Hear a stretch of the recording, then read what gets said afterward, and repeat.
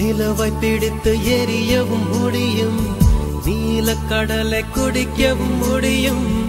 காற்றின் திசையை மாற்றவும் முடியும்.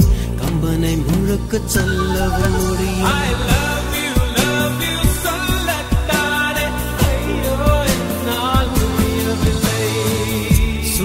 உலகின் விட்டம் தெரியும். சூரியன் பூமி தூரமும் தெரியும். நதியின் நீளமும் தெரியும். வங்க கடலின் ஆழமும் தெரியும்.